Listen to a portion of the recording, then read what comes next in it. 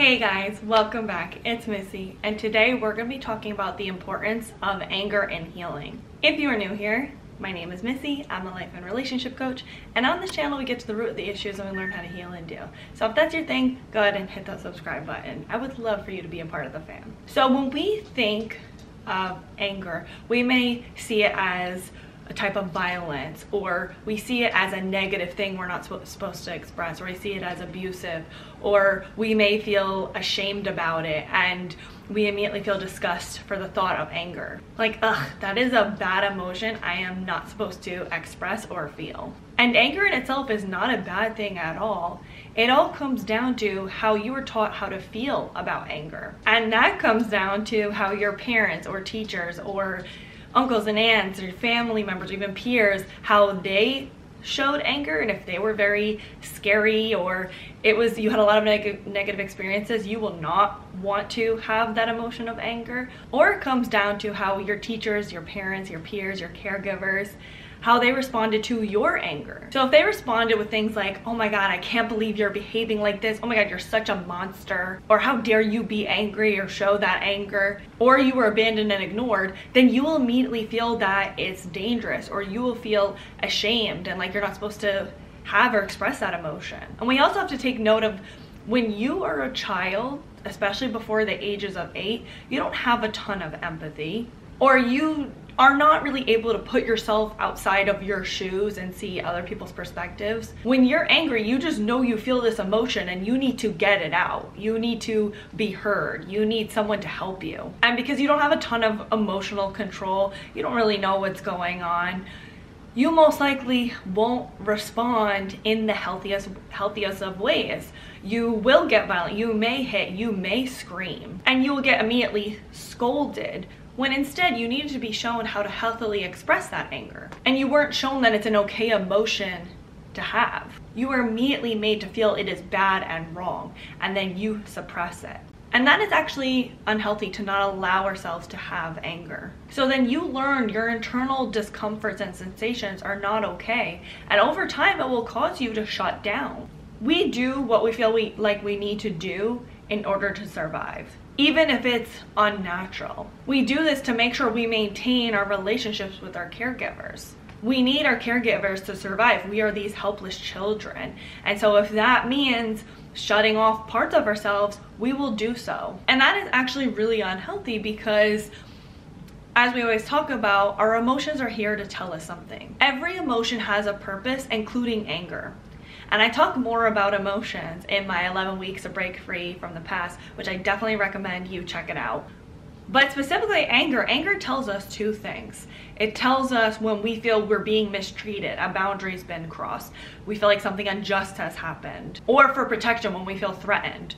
Or it is there as a secondary emotion where our main emotion is being suppressed or we're not aware of the emotion that we're actually feeling like sadness or hurt. So it's here to tell us like hey my boundary was just being crossed or i feel threatened right now. Or it's here to say hey i'm feeling sad or i'm feeling frustrated or i'm in pain or i'm feeling ashamed and i'm not dealing with this emotion. So it's gonna come out in anger because it's much easier to feel anger than it is to feel that pain. And as we always talk about if you try to suppress something, it will always come out in other ways. It will come out in depression, it will come out in anxiety, it will come out in anger. It can't stay down there. We as humans, we, we can't, negativity causes negative things, which we'll go further into in a minute.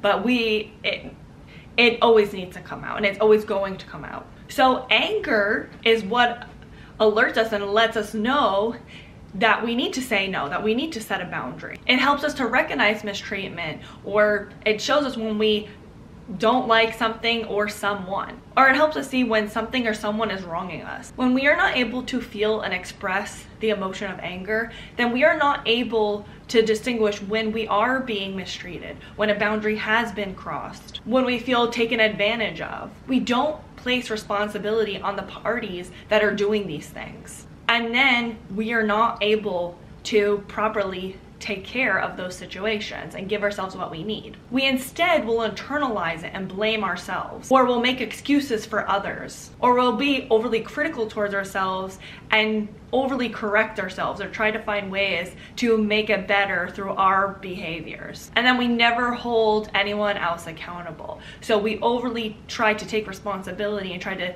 control things out of our control. If anger ever does come up, you may try to reframe it like, no, I need to do better. Or I can't feel this, it's bad. We don't wanna go down that route. And then we squash that fire.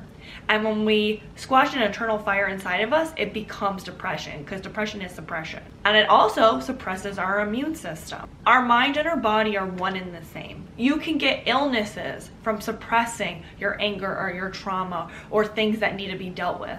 Because that negative energy, as we all are energy, turns into illness and sickness inside of our body. Those emotions are meant to be expressed and meant to come out of us. And they are meant to tell us, hey, something's wrong and we need to do something about it. If we're not listening to our internal needs, then it's just going to make us sick.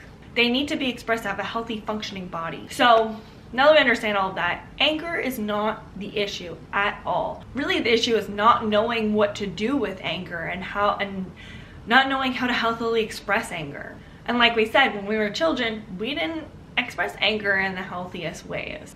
So then when you're a child and you never really felt like you could express that anger, you most likely did get bullied or pushed over by your own parents, by people around you, and then it can cause you to feel really bad.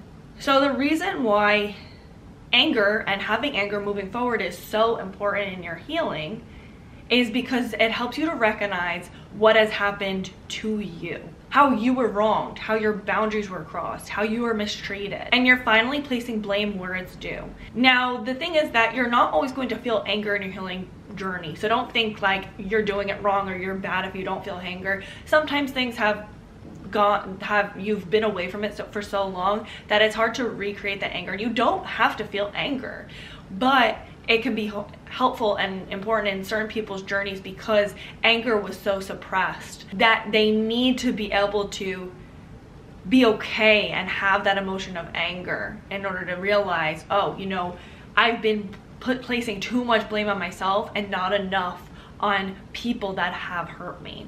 So, I, so how do you express anger as an adult? Well, first, if you're so disconnected, you may need to do behavioral actions to help you learn what it's like to feel anger. So that means stomping your feet. That means screaming. That means punching pillows. Recreating of what it will feel like to feel anger.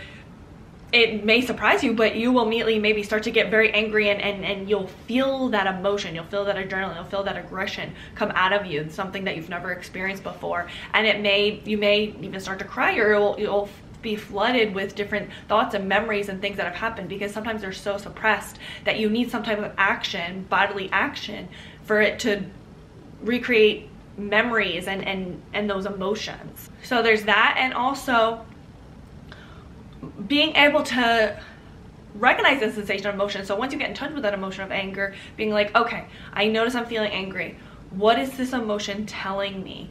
I notice that someone keeps crossing my boundaries. I need to set a healthy boundary. I notice I haven't really been saying no enough. I need to say no. I notice that I'm allowing this certain behavior. I notice that I'm allowing myself to get taken advantage of. I notice that I'm I'm getting angry at the people around me. I'm, I've become very resentful because they're jerks and you know they suck or whatever it is being able to be in touch and then and then attending to that need cutting people off expressing yourself hey i really don't like this and i want you to to do this in the future. Anger doesn't mean you have to go out of control. It's so important for you to know how to healthily express that anger. So know that you can express anger without getting out of control like you were when, when you were a little kid. So when you feel the emotion of anger you may you may need to take some time to distinguish what it is that you need. Now, when it comes to in the past dealing with you know that anger of the past allow yourself to be angry at your parents your teachers your bullies whoever.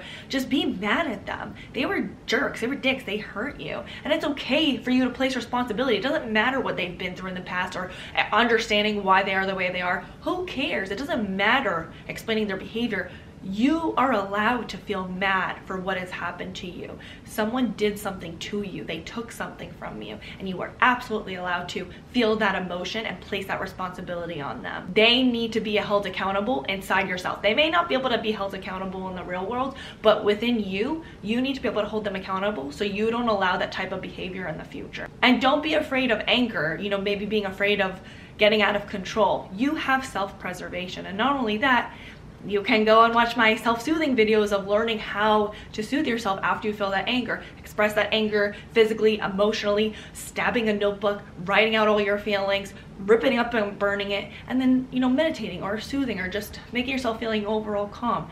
That's how you you're able to go through the cycle of your emotions and feeling them. So what do you guys think? Leave it on the comments below.